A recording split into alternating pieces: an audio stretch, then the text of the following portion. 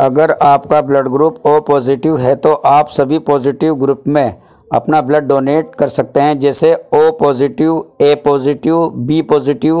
और A B positive